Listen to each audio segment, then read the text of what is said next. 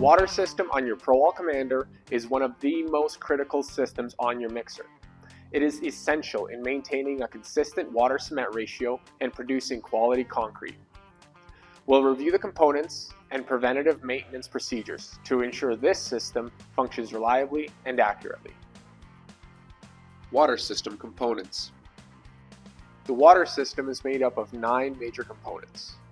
Water tank, water tank fill valve, which is a 1.5 inch cam lock connection, water tank gate valve, Y strainer, water pump, digital flow meter, pneumatic ball valve, manual ball valve, brass check valve. Y strainer. The Y strainer is designed to filter out any large contaminants. It needs to be inspected and cleaned regularly.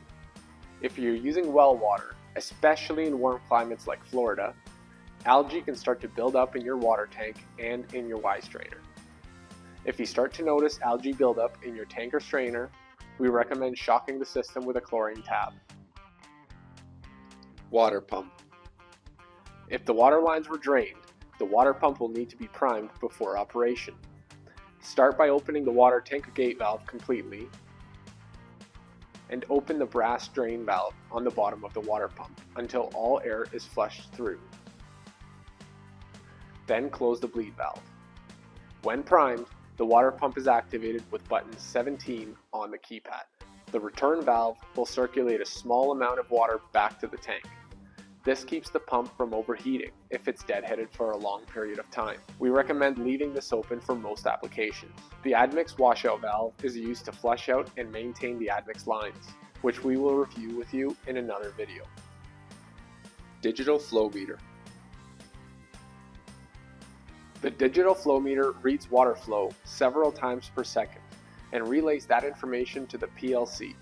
The PLC then commands the water pump to speed up or slow down based on production rate and water cement ratio of the mix design.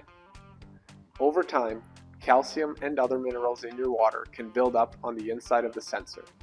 It's important to inspect and clean the flow meter periodically. Pneumatic ball valve. The pneumatic ball valve has one simple job to quickly start and stop water to the mix bowl. You want to make sure the filter regulator combo is set to about 80 psi. The regulator has a built-in filter that we recommend changing periodically. To change the filter, make sure the truck is off and air is bled out of the system. Push in the tab on the bowl and turn to access the filter.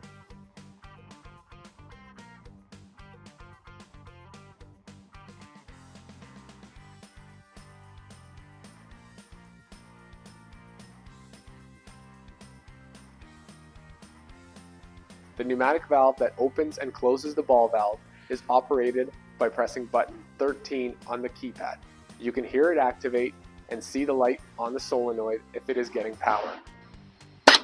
This valve has long service life, but may need to be cleaned or replaced if you start to experience issues. Brass check valve. The brass check valve needs to be inspected periodically to make sure the seals are still in place and the poppet is seated properly. Manual ball valve. The manual ball valve is a redundant feature that allows you to run the water in manual mode if necessary. It should remain open during normal operation.